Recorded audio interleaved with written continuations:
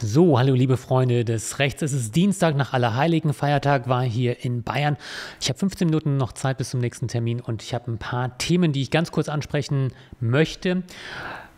Ich habe keine Zeit zum Schneiden oder zum Neuaufnehmen, also probieren wir es einfach. Die vier Themen sind Ofarim, alle warten auf eine gerichtliche Klärung. Ich möchte kurz erklären, warum es sein kann, dass es diese Erklärung, diese gerichtliche Entscheidung, die wir uns wünschen, vielleicht nie geben wird. Zweitens der Maulwurf bei Hildmann. Ähm, die Medien haben berichtet über den Herrn Enderer, Kai, mit dem wir auch schon Kontakt hatten. Das sollten wir uns näher anschauen. Das dritte Thema ist Off-Label-Impfung von unter Zwölfjährigen. Ob Ärzte das überhaupt dürfen oder nicht.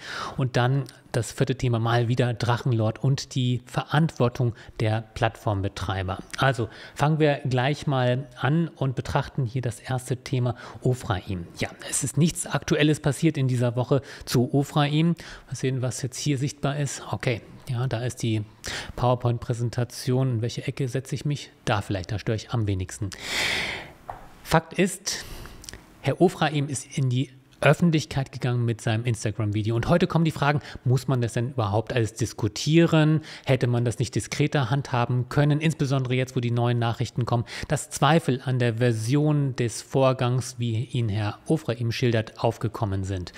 Und da muss man leider sagen, ja, man hätte das diskret handhaben können, aber nicht nachdem Herr Ofra ihm in die Öffentlichkeit gegangen ist. In dem Augenblick ist es geboten und fair, dass natürlich auch die andere Seite genauso öffentlich diskutiert wird. Ja, besser wäre es, man man hätte es gleich der Justiz anvertraut oder auf eine diskretere Weise, insbesondere wenn man noch nicht genau weiß, was passiert ist, versucht aufzuklären. Aber man kann jetzt nicht den Medien den Vorwurf machen, dass sie hier die eine oder andere Nachricht aufgegriffen haben, denn es war Instagram, mit dem die ganze öffentliche Diskussion anfing. Und jetzt ähm, sagen viele, das ist ja nur ein privates Gutachten, was das Hotel in Auftrag gegeben hat, wo Zeugen gehört wurden, allerdings auch Aussagen aus den Ermittlungsverfahren ausgetauscht wurden. Jetzt sagen viele, ich weiß jetzt überhaupt nicht, was Sache ist, ich warte mal ab, was bei Gericht dabei rauskommt. Und ich habe mich überlegt, was wird denn bei Gericht rauskommen? Es gibt zwei potenzielle Ergebnisse, die aus den Ermittlungen rauskommen können, nämlich Fall 1, dass sich der Vorwurf von Herrn Ofraim im Wesentlichen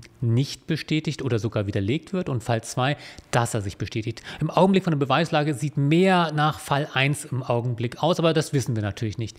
In diesem Fall wäre die materielle Rechtslage, dass eine Strafbarkeit von Herrn Ofraim gegeben wäre, vielleicht wegen übler Nachrede, vielleicht sogar Verleumdung, weil er in Bezug auf Herrn W. etwas gesagt hat, was nicht der Wahrheit Wahrheit entspricht oder eben nicht nachweislich wahr ist. Und das ist das Besondere am 186, 187. Auch wenn man es nicht beweisen kann, macht man sich strafbar, wenn man etwas verbreitet, eine Tatsache, die geeignet ist, den anderen verächtlich zu machen. Man trägt also das Risiko, dass das, was man sagt, die Wahrheit war. Und das bezieht sich in diesem Fall auf den Herrn W., der zwar namentlich genannt wird, aber er, der natürlich erkennbar ist für sein Umfeld, weil alle Leute, die dort arbeiten, wissen, wer Herr W. ist und auch die Medien wissen es mittlerweile.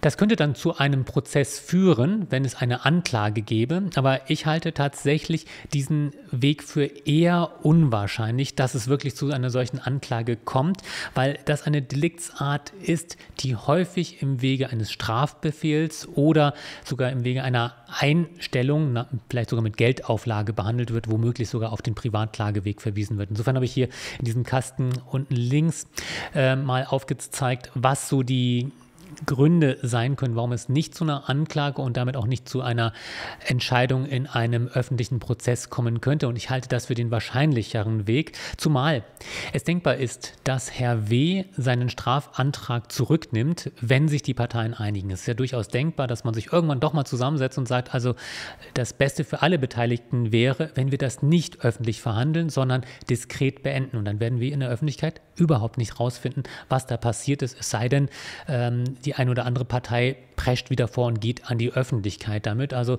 da könnte es sein, dass die Sache ziemlich diskret beendet wird. Und das ist der Grund, warum möglicherweise wir heute den besten Erkenntnisstand haben, den wir überhaupt insgesamt haben werden. Ist nicht sicher, es kann sein, dass sich die Staatsanwaltschaft dazu noch äußert, aber eben auch ist es gut möglich, dass es nicht zu einer Anklage kommt. Herr Ofraim kann das natürlich forcieren, zum Beispiel wenn ein Strafbefehl ergehen sollte und er dagegen Rechtsmittel einlegt, dann kommt es zu einer mündlichen Verhandlung. Aber vielleicht ist das keine so schlaue Idee, wenn ein solcher Strafbefehl ergeht, den nochmal öffentlich zu challengen. Vielleicht ist es dann schlauer, ihn tatsächlich einfach so zu akzeptieren. Dann käme es zu einer Anklage und zu dem, wie in der Mitte erwähnten, momentan aus meiner Sicht eher unwahrscheinlichen Prozess. Im zweiten Fall, wenn sich der Vorwurf von Ofra eben bestätigt, dann wäre zu prüfen die Anzeige von Ofra eben gegen den Hotelmitarbeiter. Und aus den Medien konnten wir entnehmen, dass Herr Ofra eben wegen falscher Verdächtigung eine Strafanzeige erstattet hat. Darüber hinaus gibt es verschiedene Anzeigen wegen Volksverhetzung. Und da ist jetzt das Besondere, dass nach meiner Auffassung eine Strafbarkeit vermutlich nicht gegeben sein wird. Und das muss man wahrscheinlich näher erklären. Volksverhetzung erzeugt eine Strafbarkeit nicht bei jeder Art von Diskriminierung, selbst wenn sie religiös, rassenbezogen ist oder an andere typische Diskriminierungsmerkmale festgesetzt wird. Eine Volksverhetzung liegt nach 130 Absatz 1 Nummer 1 vor, wenn zum Beispiel zu Gewalt- oder Willkürmaßnahmen aufgerufen wird. Und nach Ziffer 2 vom 130 StGB liegt sie vor, wenn die Menschenwürde beschädigt verletzt wird durch eine Äußerung, durch ein böswilliges Beschimpfen. Und dies diese Verletzung der Menschenwürde geht über eine bloße Beleidigung hinaus und die Äußerung, stecken Sie den Stern weg oder stecken Sie die Kette weg, hat vermutlich, da kann man sich jetzt ganz schön empören darüber, aber hat nach der bisherigen Rechtsprechung vermutlich noch nicht die Qualität, um eine Verletzung der Menschenwürde darzustellen. Das heißt, ich glaube, dass die Volksverhetzung eher nicht verfolgt werden würde. Und das gleiche gilt übrigens auch für den Vorwurf der falschen Verdächtigung, denn wenn Herr W. in Verteidigung seiner Position, weil er ja auch angegriffen wurde, eine Anzeige wegen Verleumdung oder übler Nachrede erstattet, wird dies typischerweise nicht wegen falscher Verdächtigung verfolgt. So jedenfalls sieht es der Beckscher Online-Kommentar in der Randnummer 8, ähm, kommentiert durch Professor Valerius. Ich habe es hier in den Rand reingeschrieben. Und so würde es also auch bei der Bestätigung von dem Fall von Ofraim eher nicht zu einem Prozess gegen Herrn W. oder gar das Hotel kommen. Das ist die strafrechtliche Seite. Zivilrechtlich kann sich durchaus etwas anderes ergeben. Und deswegen kann es eben sein, dass wir gar nicht mehr so viel von diesem Thema hören. Zweites Thema. Hildmann, Maulwurf. Ja, der Herr Kai E., wie er bisher genannt wurde, ist jetzt namentlich benannt worden, weil er sich eben auch der Presse gestellt hat. Sogar Hildmann ist in dem ähm, in der Reportage von Steuerung F, die am Sonntag oder Montag veröffentlicht wurde, aufgetreten. Was wir jetzt also erfahren haben, ist, dass es tatsächlich wohl den Verdacht eines Maulwurfs, eines Informanten gibt aus den eigenen Reihen. Allerdings wissen wir aus der Berichterstattung, dass das nicht erst durch Kai E bekannt geworden ist, sondern dass das schon vorher aufgefallen ist, weil eben diese eine Systemadministratorin in der vordersten Reihe bei Querdenken Demonstrationen auftauchte und weil sie, wie man später dann gesehen hat, bestimmte ähm, Akten aufgerufen hatte. Also das wird anscheinend protokolliert und ist dann irgendwann noch aufgefallen. Immerhin ist es aufgefallen. Was ich aber bemerkenswert finde, ist, dass es diese Datenlöcher gibt und dass wir immer wieder erleben, dass unsere Mandanten, die sich zum Beispiel gegen Beleidigungen oder Straftaten wehren, aus einem ähm, rechten oder linken Milieu oft zurückschrecken, ihren Namen zu nennen oder gar ihre Anschrift in die Akte schreiben zu lassen, weil sie Angst haben, dass diese Daten geleakt werden können. Und das nährt natürlich diesen Verdacht, wenn selbst die Berliner Generalstaatsanwaltschaft nicht verhindern kann, dass diese Informationen an Attila Hildmann weitergeben werden. Und da muss man sich überlegen, einerseits, welche Maßnahmen zum Datenschutz gibt es, da werden die sicherlich drüber nachdenken, aber eine andere Frage ist auch, ob es nicht Alternativen dazu gibt, dass diese Daten gar nicht erst an die Ermittlungsbehörde gegeben werden können, müssen. Ähm, uns bieten zwar die Ermittler immer wieder an, dass Datensätze geschwärzt oder gesperrt werden können, aber unsere Mandanten trauen dem Ganzen nicht, denn in der Tat, irgendjemand hat die Zugriffsrechte, um dann dann doch darauf zuzugreifen. Und eine Lösung könnte sein, dass man mit Treuhändern arbeitet. Das könnten Notare zum Beispiel sein, aber auch Rechtsanwälte, die zum Beispiel die Identität des Anzeigenerstatters kennen, darüber Auskunft erteilen. Jetzt muss man natürlich gucken, wie das mit dem Fair Trial Grundsatz äh, übereinstimmt, dass natürlich der Verteidiger in der Lage sein muss, einen solchen Zeugen zu überprüfen. Aber da sollten wir darüber nachdenken, ob es dafür Maßnahmen, Möglichkeiten gibt. Ich will nicht sagen, dass das der einzige Weg ist, aber ich finde es bedauerlich, dass viele Opfer von Beleidigungen, Bedrohungen oder von anderen Äußerungsdelikten sich nicht trauen, Strafanträge zu stellen oder sogar Strafanzeigen zu erstatten. Drittens Thema Off-Label-Use von Impfungen. Die Amerikaner haben gerade BioNTech zugelassen für die 5- bis 11-Jährigen. In Deutschland ist es beantragt. STIKO hat sich dazu geäußert. Ähm, und es gibt einige Ärzte, die haben U12 unter 12 Off-Label geimpft, weil sie sagen, dass die Voraussetzungen für eine solche Off-Label-Impfung gegeben sind. Das ist eine medizinische Einschätzung. Und jetzt wurde ich gefragt, wie ist das aus juristischer Sicht?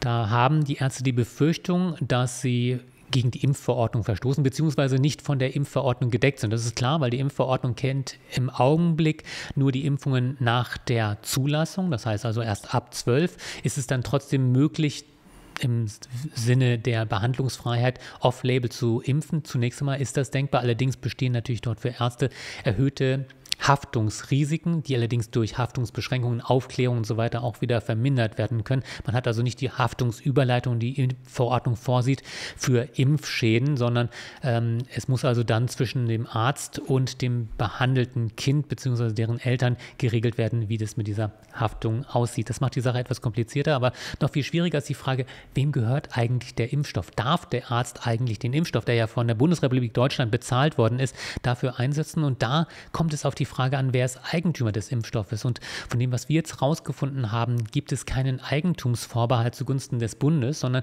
diese Impfstoffe werden über den Pharmagroßhandel, erst über die Länder, dann über den Pharmagroßhandel und dann über Apotheken an die Praxen geliefert. Und damit wird der Arzt Eigentümer dieses Impfstoffes. Sollte er also einen solchen Impfstoff dann regelwidrig verwenden, begeht er zumindest keine Unterschlagung. Was ansonsten noch in Betracht kommt, sollte man nochmal näher prüfen, aber das ist gerade ein Thema, was wohl Kinderärzte umtreibt. Und dann zum vierten. Ich hatte in der letzten Woche ein Video gemacht über den Drachenlord und den Artikel von Sascha Lobo. Da geht es um die Frage, lag eine Notwehrsituation vor? Inzwischen habe ich von Lars Wienand etwas mehr Informationen dazu bekommen, wie genau der Ablauf war aus den Protokollen, die jetzt auch im Internet kursieren. Es sah nicht so sehr danach aus, obwohl, ob jetzt in dieser konkreten Situation ein gegenwärtiger Angriff vorlag, der eine Notwehr rechtfertigen würde. Die andere Frage also ist, ob man so eine gesamthafte Notwehrlage hat. Und das kann man für geboten halten. Das hat Sascha Lobo ja in die Diskussion geworfen, aber die Rechtsprechung kennt das nicht. Insofern ist die Entscheidung der Justiz zunächst einmal stringent, dass also eine Notwehrlage nicht gegeben war, die es geboten hatte für den Drachenlord, die Notwehr durch einen Schlag mit der Faust oder der Taschenlampe zu beenden oder jemanden in den Schwitzkasten zu nehmen, der gerade auf dem Weg war, das Grundstück zu verlassen. Ein anderer Aspekt, weil immer wieder gesagt wird, der arme Drachenlord, der muss doch davon leben. Er hat natürlich ein Geschäftsmodell, was darin besteht, möglichst viel Aufmerksamkeit zu erzeugen. Und da kann man sich die Frage stellen, ob nicht die Plattformbetreiber auch eine Verantwortung dadurch haben, dass sie die Monetarisierung solcher Gewalt und hassschürenden Inhalte auf beiden Seiten schüren. Das ist nur ein Gedankenansatz. Ich will da noch keine Antwort dazu geben, aber ich glaube, es gibt eben drei Beteiligte: den Mob der Hater, Hater, den Akteur selbst, der das immer wieder weiter befeuert und eben auch diejenigen, die das ermöglichen. So, das in 15 Minuten. Die vier Themen ohne Schnitt und ohne Vor- und Nachbereitung. In diesem Sinne bleibt gesund. Bis zum nächsten Mal.